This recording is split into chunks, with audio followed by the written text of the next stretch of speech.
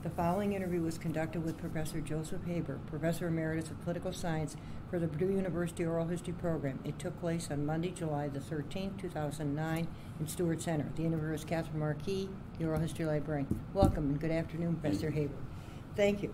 Tell us a little bit about where and when you were born and your early years and your parents. Uh, I was born in, uh, in a small town in southern Germany called Villingen, which is in Baden.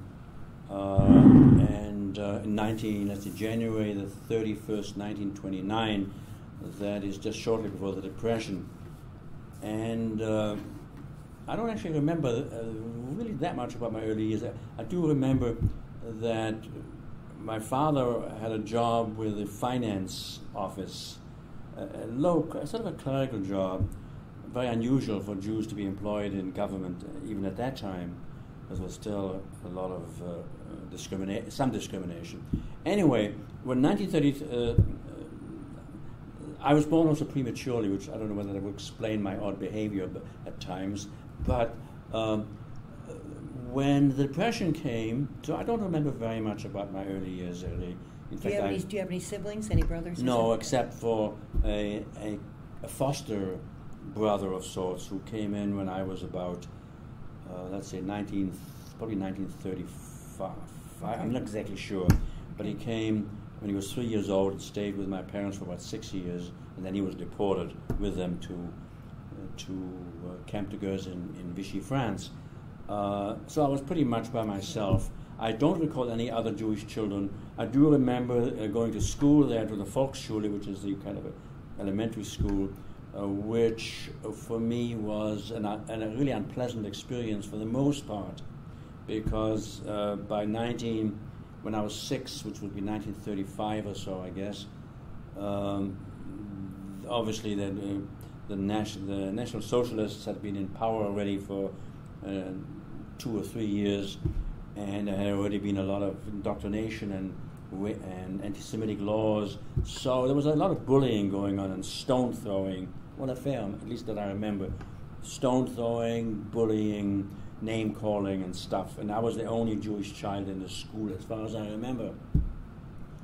It was and probably a small school, not very large. Well, I went to the school recently. It's okay. you know it was you know seven hundred children okay. probably in there.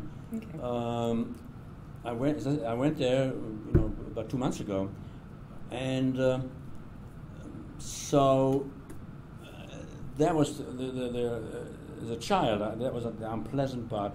In my neighborhood, however, I don't recall. I don't think there was any of that going on. So the the kid, the children in the neighborhood were friendly enough, and I played with them, and I was a very active child, even though I was prematurely born. I was quite active. My father was a sick man to begin with, very nervous and sick, so we always had to be very careful around him. And of course, my parents had a lot on their minds. He was un- we were unemployed, had no other means. My mother was a seamstress, or at least she knew how to do it. So we were poor, but never, never so poor that I went hungry or anything. Right. So it was a very, it was not a warm, emotional kind of environment. And then came 1938. To make a long story short, when uh, after what is misnamed uh, Kristallnacht, which is really you know, night of shattered glass, where all the synagogues were vandalized or most of them burnt down. Uh, the it's really the Reichspogromnacht, which the Germans, what the Germans call it. Uh, was a pogrom. Uh, many, uh, quite a number, quite a number of Jews were killed. Uh, many of the adult males were sent to concentration camps. a lot of them were sent to concentration camps. if they're over 17, and I was, uh, and Jewish children were all expelled from German schools. So I do remember this very well. That uh, the day when I stood in class and all the was very, kids around me were all very excited. Something was going on, and they pointed at me, and uh, uh, what it meant was I was out of the school. So my parents had no uh, independent means. They couldn't resettle in a larger town like Frankfurt or Stuttgart or Mannheim, where the Jewish schools were either were in existence or could be set up. So they undoubtedly their question was, what are we going to do with little Joseph here? So they got in touch with the Jewish agencies, I suppose. Uh, my father, who had connections through, through this, very likely through this boy they had adopted, they knew, and they found out about the Kindertransport. So I was within three weeks after after this Reichspogromnacht, uh, I was on a boat to England uh, with the first children's transport, and that was a that was a really uh, kind of and, and that was really a traumatic experience. Did your parents see you before you left? Well, my father took me. Uh, you had to go to. You had to. You know, the boats would leave. In this case, the boat left in Holland, so you had to take a train, go to the Dutch border. Then you, from the Dutch border, they would take you to the to the boat. So I remember my father. I remember this. My father coming with me to drop me off at wherever it was, and I knew it was very serious. But I, what did I know about all it? What did I know it was meant to be a Jew? I mean, all to me it was just a big. I wanted to be like them. I wanted to, you know, I wanted to have, the, you know, do all the fun things, uh, and so on and so forth. I, I didn't have a clue as to what was really going on. So for me, it was all very um, shattering in a way. So the and, and you know how circumstances compound to do things. So I went over there. There's a shock of leaving your parents all of a sudden. There's a shock of going to another place that you don't know about. And you're Uh, very young too. yeah, I'm almost 10, that's just pretty young. So when I go to England, uh, the, the children were dropped off at a, at, a, at a camp, one of those summer camps where uh, Eng- the English go to, you know, to have fun in the summer. Down you have- is the, the shore of the beach. And yeah, and you have cabanas and so on and so forth. And they put a, there were a lot of kids now, a couple of hundred in this first boat. So they didn't have enough room to put them all into the facilities, the dormitories or whatever they had on the main part of the camp. So they put me with some other kids in a series of cabanas with a hot water bottle. Hot water bottle was necessary. This was this, this was December the second or third, which was the coldest winter in hundred years. It was really cold. So hot, so when I had the hot water bottle and I, get, I was by myself, they didn't put two of us together. I was by myself at the end, hot water bottle. I got cold, so I put it. In the morning was a block of ice. So apparently, when I got up, I had to repress this, but Nina told me when I got up, I looked around. There was nobody there. You know, I was at the end of all. Uh, I was apparently I, I was by myself, and all of a sudden I look around. All the children are gone, and here I am. They finally found me, I guess, and You were at the far end, and they yeah, and they didn't. So they found, they must have taken roll call and said, "Where's where's uh, Joseph?" Uh, I guess they picked me up Oh, at the yeah. end. And so th- this was not the end of it. So uh, the, uh, so all right, they got me into. They picked me up. I had repressed this. I re- I didn't even know that I'd remembered it, and I told it to Nina. I was so apparently so traumatic. So then they found out I had a, because of this coldness and whatnot, I'd had a, an infection in my bladder. So they shipped me off to the nearest English hospital. Sensible thing to do. And uh, there in the hospital, the nurses were very nice. There's only one little problem. Um, they didn't speak German, and I didn't speak English. And while I was there, some children's disease broke out in the main camp. Children's, uh, whatever it is, uh, children's pox or whatever it is, chicken pox. Chicken pox. So they had to go into quarantine. So nobody from that camp, none of the German uh, teachers could come over to the hospital, and nobody from the hospital could. I, so here I was, isolated, can't speak any uh, any English. Uh, they, you know, but the nurses were nice. Well, I remember, but, you know, they did their best. So when I got out, I do remember I was emotionally a real mess. I mean, I remember this walking around in Lowestoft. This was a town, and then I sort of shut down for the next three years. I don't remember virtually very, very, very little. In fact, I remember very little of any before in Germany. On, uh, so it was very traumatic. And then one day, when I was almost 13, I woke up. I remember. Where I- were you living in England? I Someone this was a, when you went there with a kinder transport. You had two channels. One is you could be adopt, uh, taken in by a family. It was a selection process. You know, if you were cute, uh, you know, cute. They cute- would select the yes, family. I wasn't cute apparently, cute enough. So I went into a hostel, which is kind of like an orphanage, and it, it was all. None of this was like Dickens. You know, it wasn't a terrible place, but there were 30, 40, 50, 60, 70 children, boys. You know, this was not a co-educational thing, and so I went to a series of hostels and ended up in a hostel that was, uh, and most of them were, the hostels were sort of religious. You know, they're Jewish, they're religious, Orthodox, and I had a very Orthodox one. Uh, so I grew up in an Orthodox environment, but until I was 13. It's all like a haze. I don't remember. And then I woke up, and then I realized I had problems. I realized I had problems. I, I had enough insight to know, gee, I got problems. So uh, I, initially I thought people were watching me, and, you know, like paranoia or whatever else. And then I said, I got to do something to help myself. Because in those days, you didn't have trauma counselors and battalions of counselors who would rush in and say, oh, uh, you were basically on your own. Not that these did you go to school? Were you going to yeah, school? I was now? going to school, and it took me a while to. I was a very poor student throughout. I went to well, a. Te- you had to learn English. I learned English, all right. Yeah, I did learn English, but I went to a technical high school. There had been a Pennington Technical Institute, which had been evacuated to Northampton because of the Blitz and whatever else, and that's where most of the boys from our hostel went. And these, um, the hostel boys, the Jewish boys, the refugee boys were ve- most of them were very good students. Really, they excelled.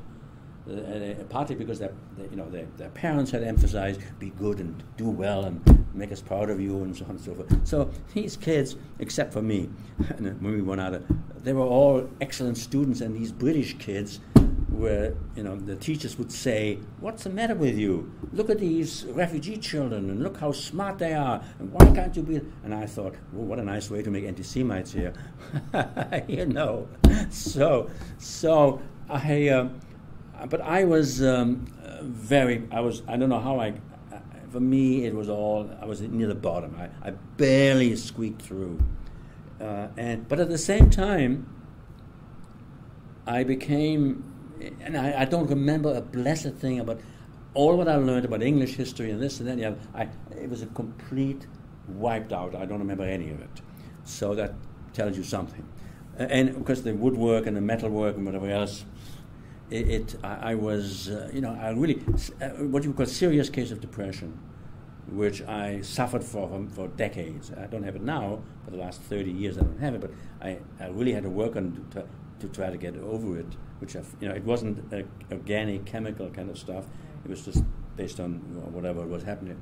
So I realized I had to do something, and I, but I didn't quite know what was I was suffering from these depression. So I would go to the. So I, I, I latched onto reading, and going to doing things like reading uh, novels and poetry and other stuff, and listening to the BBC, you know, serious stuff. I became a very serious young here in school I was doing pretty awfully, but there I was beginning to read. I started to read Freud, and and I started to. Uh, I read Dale Carnegie, How to Make Friends and Influence People, uh, and I would take the lesson and say, you know, ten lessons how to do this, and five. Uh, and, and another book I read was Life Begins at 40. I would tell myself, I don't care how long it takes. If it even takes me, you know, these American self-help books, which the GIs brought them over. The GIs brought over in the Second World War. They had these the, the, armed services had these uh, hundreds of titles, and the GIs, Jewish GIs, would come to the Jewish hostel for the occasions, and they would bring all these books, and I would snap them up: American history, novels, bestsellers, poets, and the, of course the, the, and the library, the uh, the um, the Carnegie libraries, which were public libraries. Northampton had a very good library uh, endowed by Dale, by Carnegie, not the Dale Carnegie, the other Carnegie, Carnegie and free. And so I would, I was, I was a big, big, all the children's classics, you know, Dumas, and oh, down down the line, as well as very serious stuff. So. Uh, this was at the age of about 14 and 15. I would, and then I would walk in the, in the, in, in, the, in, it was very quick to get from where you were into the countryside. And you didn't have in England the signs that keep out private property. It was kind of common property. In America, of course, whenever you went, you see private property. Uh, trespassers will be shot on sight. Is the kind of thing I saw in California, and. Did you stay? You stayed in the orphanage and then went to school. Well, I went in this hostel. Yeah, we we we, we uh, stayed in the orphanage. It was at a religious orphanage, which meant we had full, uh, the man who was in charge was had been the director of the orphanage, Jewish Orthodox Jewish uh, orphanage in Frankfurt am Main, which was a, the epicenter, the big center of German Jewish Orthodoxy, and a, a sort of modern Jewish. Sure. You could do, you could be religious, fully religious, but you could also be modern. You didn't have to sort of stay out, you know, like the Hasidic Jews very often don't want to do with modernity. You know, they think it's it's a bad thing to, it's going to corrupt, it's going to lead to all kinds of, which sometimes often it does, but it's another story. So uh, you know, and, and so that's what basically I think saved me, and also the will to try to get better. You know, I would talk to myself when I would walk, and I would read Wordsworth and memorize Wordsworth, and uh, I wandered lonely as a cloud and all that stuff. You know, I love that. I love uh, the poetry. You're good in the English lit courses. yeah. Although the worst course I ever took was at San Francisco State College, where this old lady was teaching uh, romantic English romantic literature. San Francisco State College. That was another interesting story. And it was so, and there were only three of us in the course. And now I know why. And I couldn't doze off. You know, this it, it was so boring. You know how sometimes you greet somebody and, and whatever I don't know what it is, it triggers off an ins, an instinctive reaction to want to drop off and fall asleep. And So I went through this whole semester. I couldn't really fall. It was to- like Chinese torture, and that was with the stuff that I really liked. anyway, that's how um, I managed to, you know, to finish, and then I was apprenticed. Uh, so I went to my uh, to my uh, what do you, guardian, uh, this uh, Mr. Marks, who was the head of the orphanage, but also the head of this of this uh, hostel. After I finished, and I said, and, and the Yeah, question was, high, Lee High School, right? yeah, I finished. High, I finished the technical high school, and uh, he we talked about it, and I said I what I wanted to be is a teacher. Was I saw the reason I wanted to be a teacher is I wanted to have an impact, and second of all, I realized what a bad job he was doing, uh, because I realized this man was well intentioned, but he didn't have a clue about the mentality of of, of, of children, of boys, and, and I had read John Dewey around that time. You know, I was aware of the American John Dewey and Counts and others who were into this, you know, mobilize the children's energies, get them involved, make them independent, you know, get, give them some real responsibilities and they'll measure up. And so I was very, and I, this guy was creating, you know, he meant well, he did okay in feeding us, but he had no clue about, and then he did some other stupid things later on when some, some of the children came over from the camps, some of these survivors from the death camps came over about 20 after the war. And uh, so I, I wanted to be a teacher. Well, when I went to him and said I wanted to be a teacher, he said, he wasn't being malicious, he just sort of said basically, you know, you're not smart enough. So uh, I said to myself, oh, yeah, yeah. I didn't tell him that. I said, oh, yeah, I'll show you. So my, re- the story is the rest of my life was just to show Mr. Marx that he was wrong. You see. So um, he apprenticed me to an accountant auditor in town. Uh, and that meant in those days, being like Charles Dickens, you were sitting on a stool with your visor and you were doing it all by hand. So for four days of the week, that's what I was doing.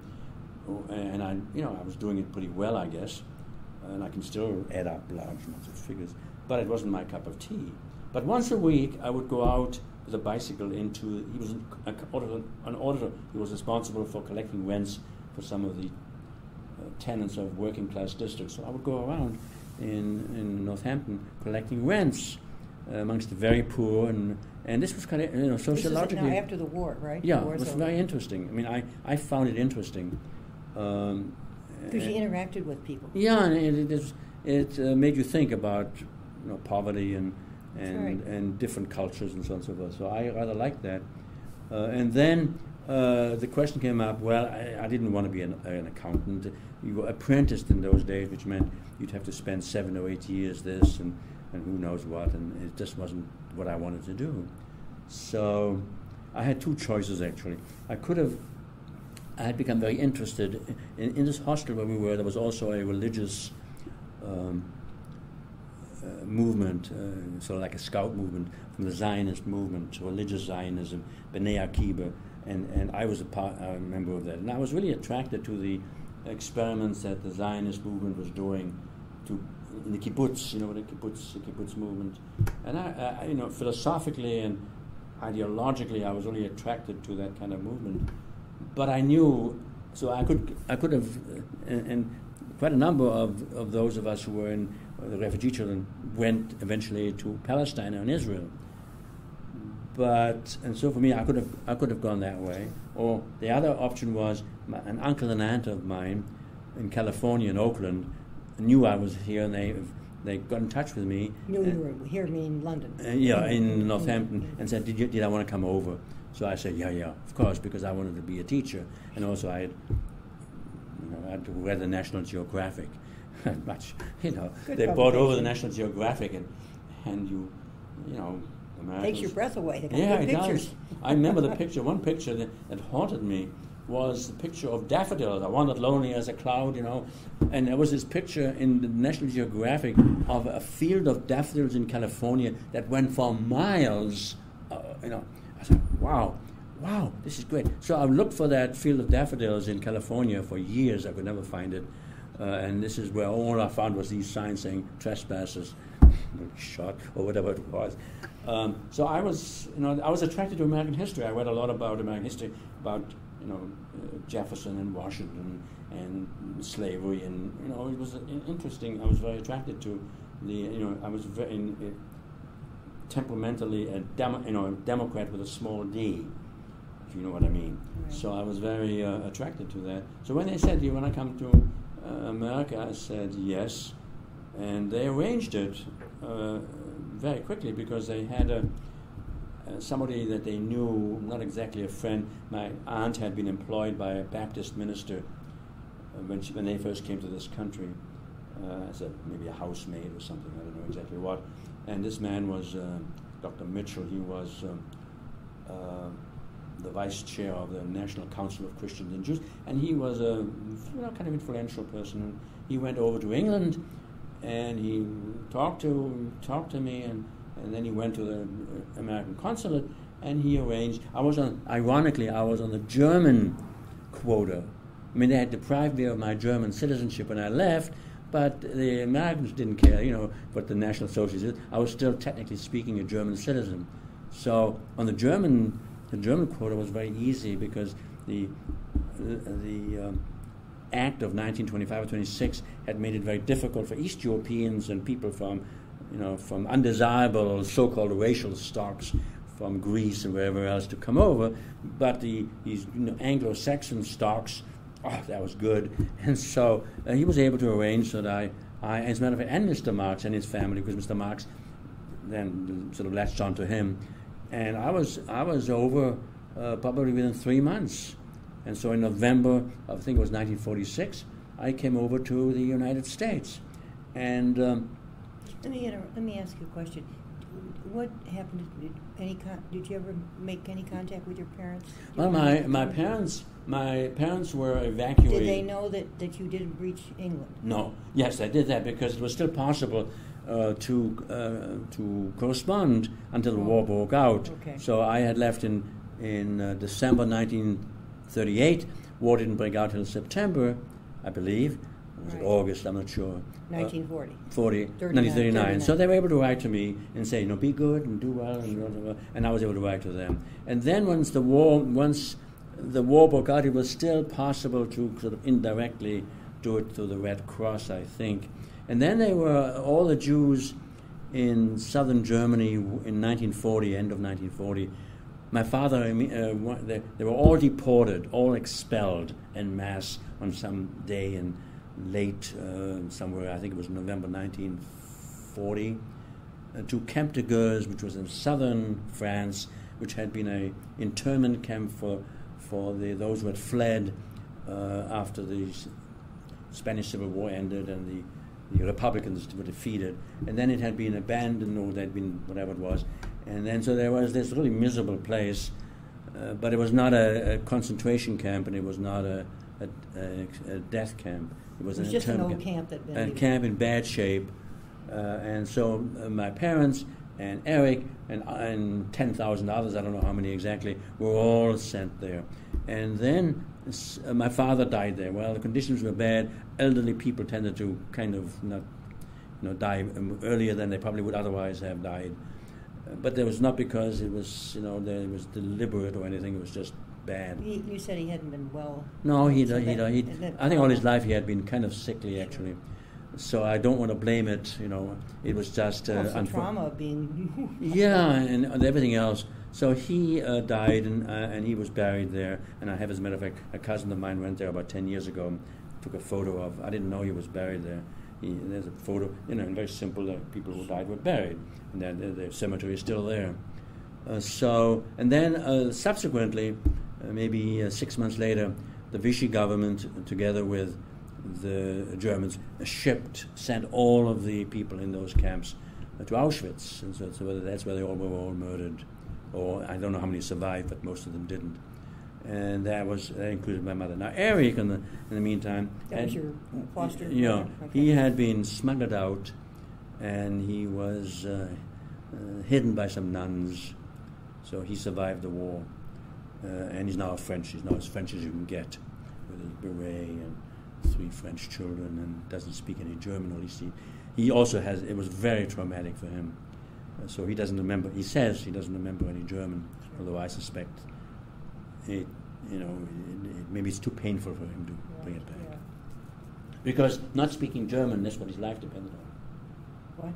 Not speaking German while he was there in France was what his life depended on. If they, if he was found out, that would have been, been bad for him as well as for those who, who took the trouble to save him. Understand. So, so that's what happened. And um, so I went to California, and um, was uh, then Mr. Uh, Dr. Mitchell took me to. I had an option to there. I could have gone to the University of California in Berkeley, or I could have gone to San Francisco State Teachers College, which is now San Francisco State University, and a very big one, and a fairly good one too. But it was not quite good then too. I thought it was a teachers' college, 600 students. I don't know whether you've been to San Francisco or not.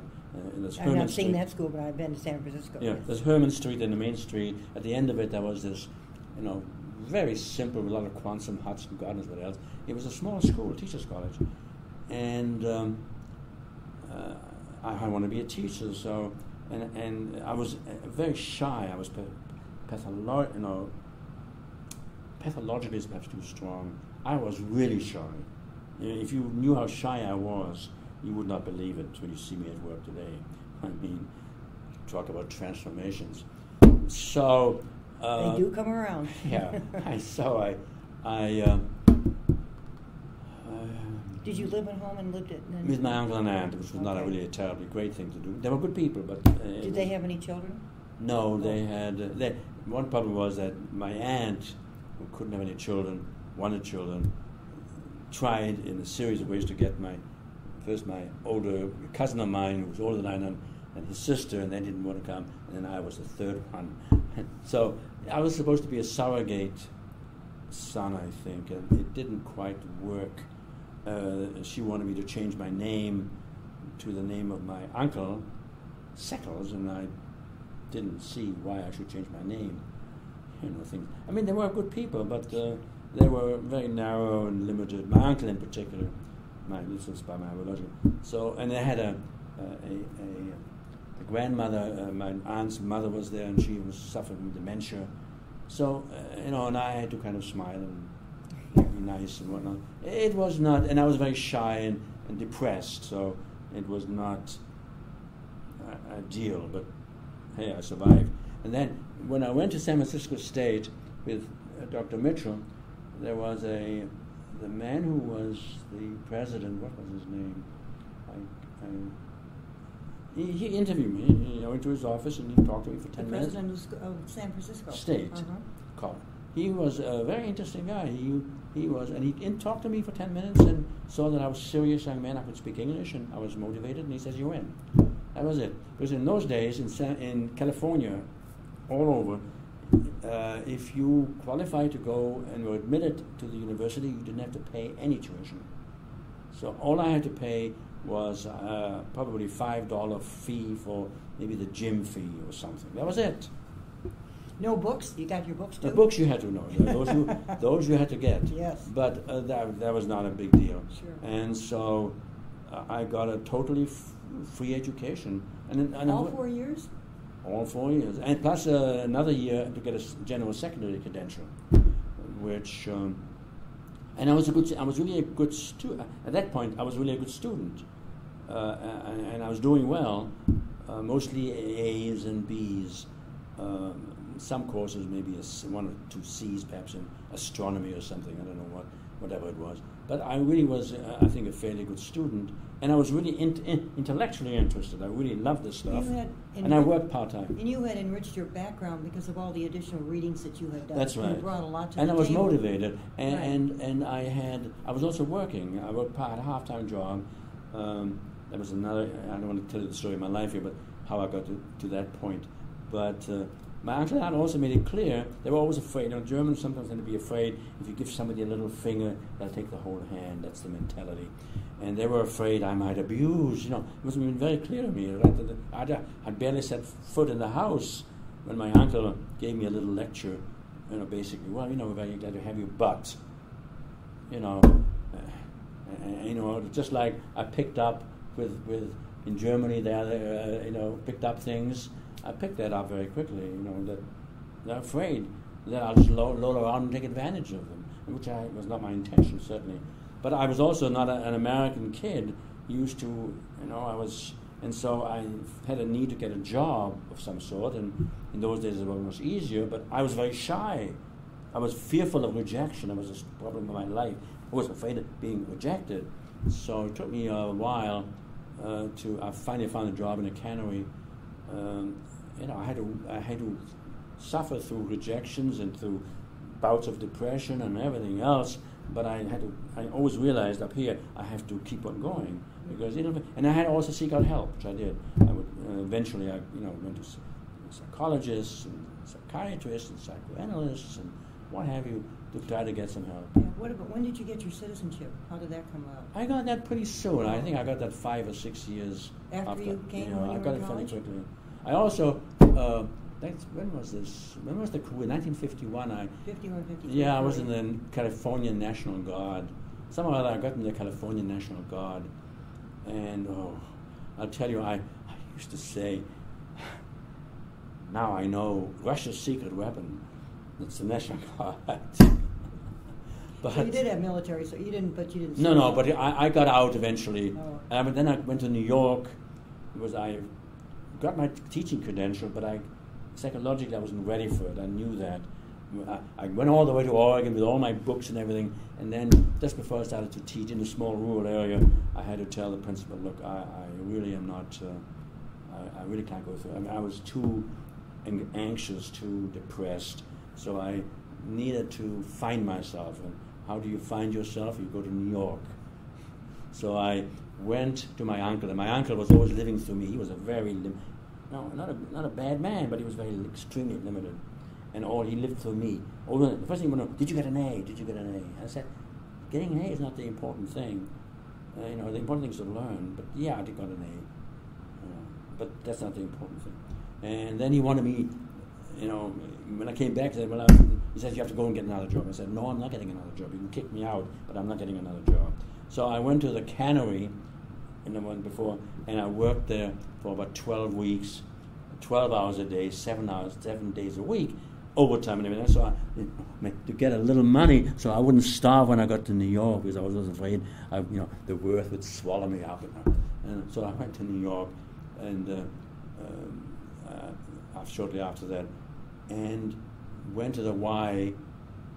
And there's a big Y there in New York, and stayed there two or three, a couple of days. Looked in a newspaper, a German Jewish newspaper, for a room, and found a room. It, it, I really, it didn't take much time. And, I found, and then I looked again, and I found a in New York, whatever the newspaper was, and found there was oh they want somebody in the New York Times in the radio station for their office. So I interviewed there, and I got the job uh, as a clerk, you know. For the, and so I had to, so I was settled. Uh, but I wasn't being teach. I wasn't teaching. So then I went and got a. I decided. I had, well, I so I actually got an MA at um, a branch of Columbia University with a major. Actually, it was Teachers College, which is part of, it, and uh, got a, an MA in that. And in the meantime, I was taking. One of the things I did was I knew I needed some help to help myself. I knew uh, uh, reading Dale Carnegie and all the self-help books weren't enough. So I,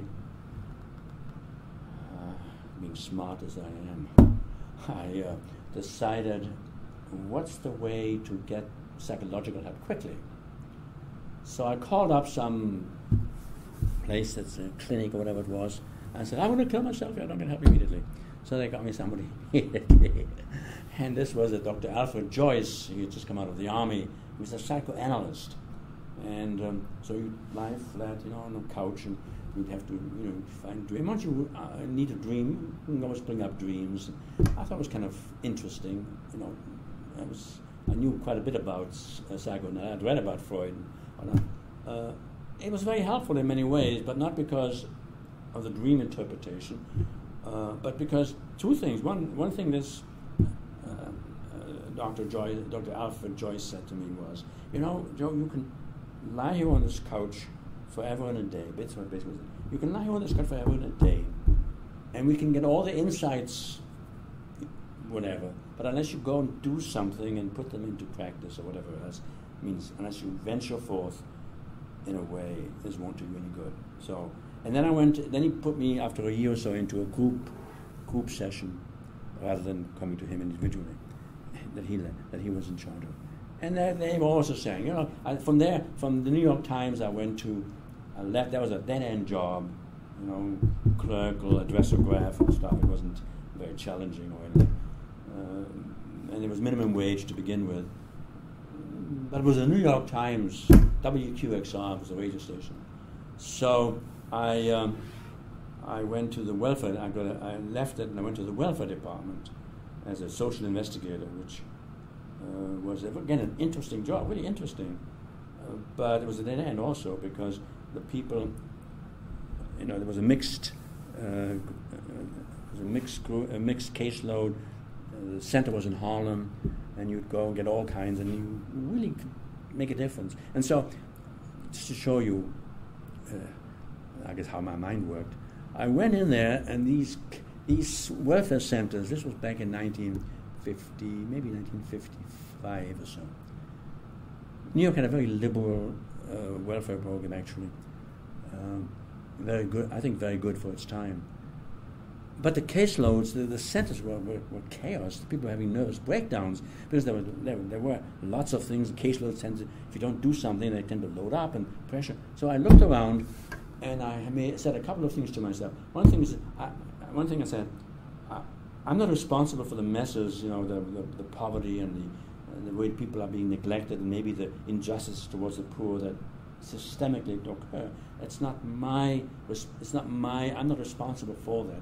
All I can try to do is to do this job as best as I can, and from eight to five, and then forget about it, you know, because that's. And I'm not here to fix people up, you know, psychologically. It's not my job to be a, a, a, a social worker. So I'm here to make sure that the people who are, are on public assistance get what they're entitled to make sure that they're eligible if they're eligible, and then if they're eligible, thank God they should get what they're eligible, and, and not to impose my middle class values on them. You know, you're entitled to it, you're going to get it. And uh, so what I did was, I would go in. A couple of things, very simple. I would go in, you know, you, would go, you'd have, let, maybe at 110, you'd go in, you had some cases that you investigated from the beginning, and most of them were ongoing cases. So you'd go in, you'd investigate, you'd want to make sure that they were really eligible, and then I would, you know, you dictate, meaning that you go, I would immediately dictate the cases when I got back to the case to the welfare center, and then I would immediately write out whatever they were entitled to, you know, because you had you had women mothers who needed something for their children for school, or they needed something here, or they needed this or that or the other, and so I come home. First thing I did was to send it out so they would get it quickly. And the second thing I did was when they would come in for some problem, I would not keep them waiting around. I would make sure that uh, as soon as they came in, I would say, "Well, I'll see you as soon as I, you know, very soon," because I didn't, uh, you know, I didn't want them to. Uh, I felt if I was here, I didn't want to be left hanging around. Right. And so, if you treat people with, uh, you know, with a certain amount of dignity, whatever else you want to call it, um, that was the second thing. Just, and the third thing was uh, for those, you know, oh, I love this because uh, there were fathers of, of you know, children. Uh, if they if the fathers could not support the children, fine. But if they had any, if they could support, I would hunt them down. And you know, I, I, became quite good at it, and I would get them in court and to make them pay because I thought, well, you know, uh, fair is fair. But I wasn't going to peek under the bed to see whether some man was around because, hey, the, the laws are written in such a way very often to get families apart rather than join them. You know, the, way the, so that was not my job, and so. But the problem with the job, so you could do make, and, and the other thing I loved was when you get some of the old elderly people, uh, you know, they they would think, uh, you know, they were so grateful and, and, and, and, and so diffident about it. I would say, look, you're entitled to, you're entitled to this. This the Congress and said, what what is it? Do you have this? Do you have that? Do you have, no, I would give them what they needed uh, and try to assure them that this was not some handout. This is what they were entitled to. And, and the result of all of this, I'm not bragging here, you know, it just seemed obvious to me. The result of it all was, after six months or so, my caseload was humming. There, was, no, there were no problems. Uh, occasionally, then you had a problem. You had some serious case of neglect or something else. Then you could do something, or housing problems. You could then go and try to fix something up if you, you know, or find somebody who fix things up. But how many people were collapsing from this? And I was having, you know. You handled it very well. You know, that's sort of the way I. That's my life, right? yeah. But then it, the problem with it was it was a dead end because most of the supervisors, in, you know, we had a, supervisors and and most of them were at this point were these Jewish uh, uh, graduates of City College or someplace who had graduated at the height of the Depression, and they had been traumatized because they couldn't find a job, and finally they got a job in in this uh, organization, and it was so traumatic for them that they couldn't, they were also operating beneath their abilities, I thought. So they, um, they were going to be there for another 20 years. And so finally I decided, uh, and in, in this um, counseling, people were saying to me, you know, you're really, you're really, you're so intellectual, you know.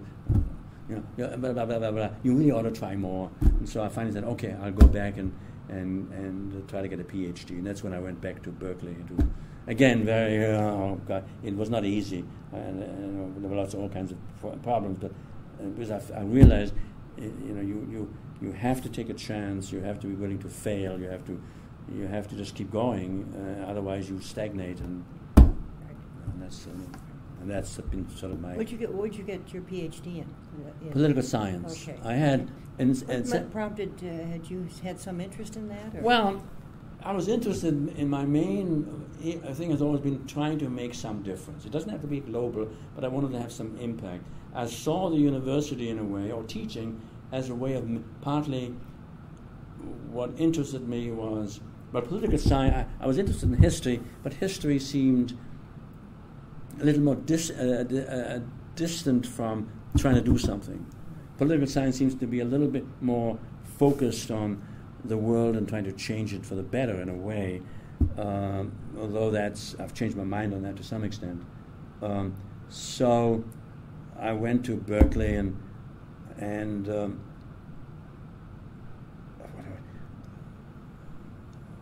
and also you know when I I like the intellectual pursuit in itself. I, I think knowledge doesn't always have to be um, instrumental.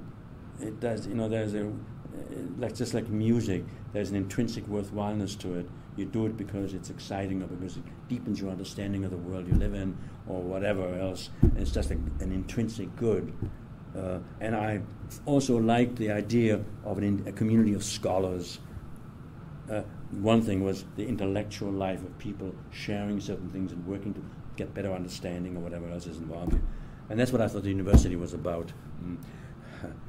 And uh, the other thing was mentoring. I, you know, I saw a film in England called Goodbye, Mr. Chips. I don't know whether you ever saw that film or not. A long time ago, probably before your time. And so I also like the idea of mentoring. Of I thought the important thing in education is the um, the human. You know, really, education isn't training. You know, I think a lot of education today is basically training. We call it education, but it's really training.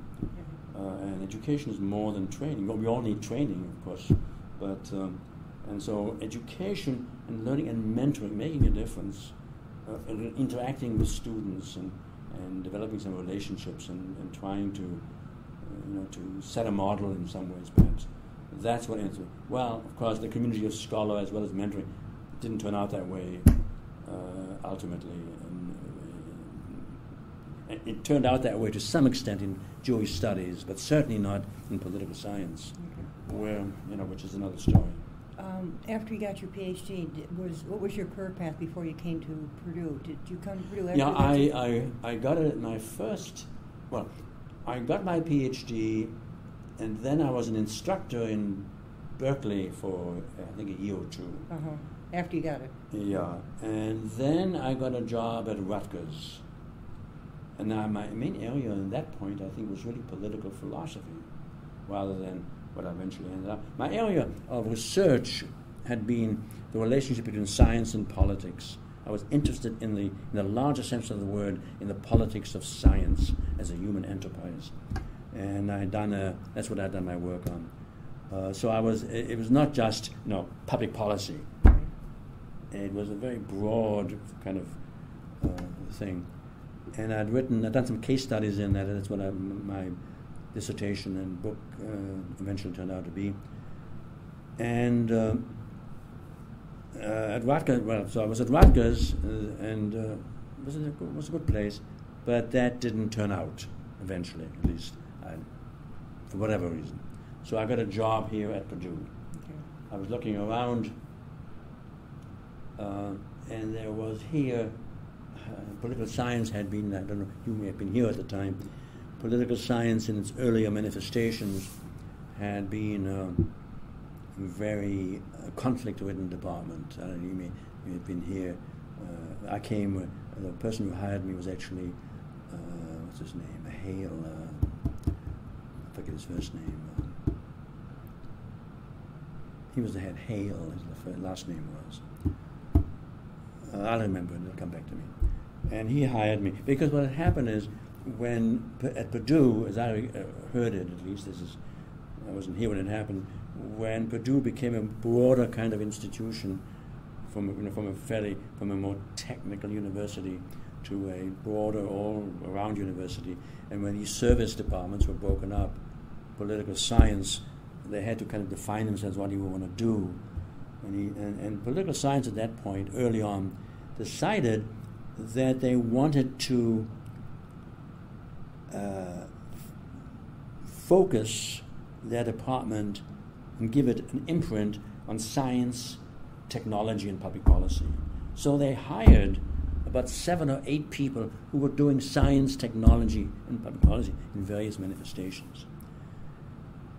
And as I understand it, I, I uh, came in after a year. The year that I came, it was the year when I think of the eight, or if it was seven, it was seven people left in one year. There had been a big fight in the department, I think, about defining the department, and some felt this was kind of an imperialistic enterprise. You know, science technology was swallowing up the whole department.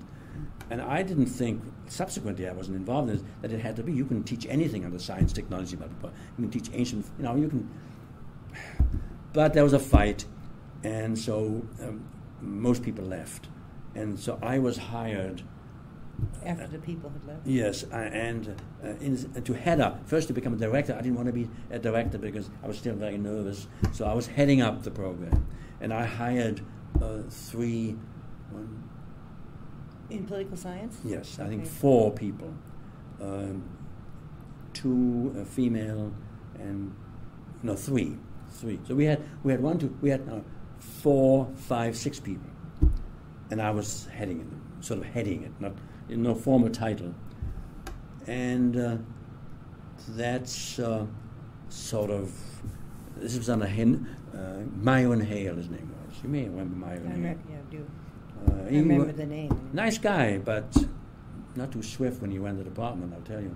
Uh, but um, so it was a very, very protracted, bitter fight to get rid of Myron Hale that I came right in. It was like it was like the Viet- Vietnam War. It was it was pretty awful. I mean, uh, on both sides, I thought.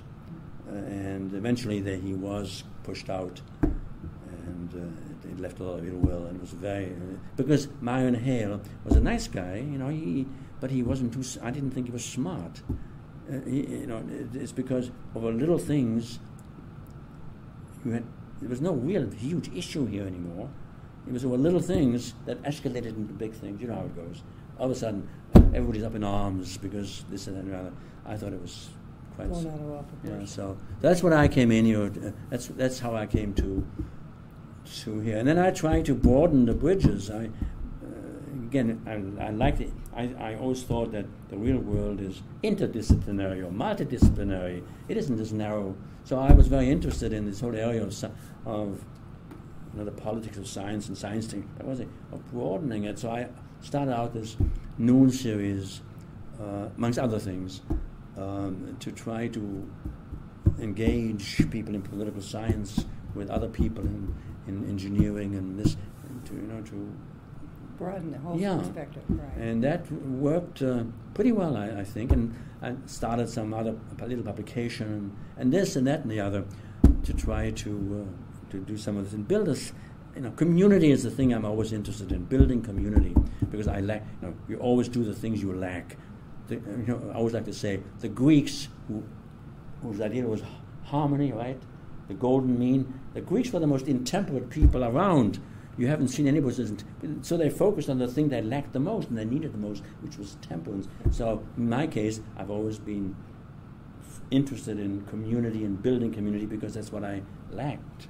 Right. You know, so I. I think this is where we'll stop and then we'll pick up on the Jewish studies. Right. Does that sound good? Okay. Let's end it, part one.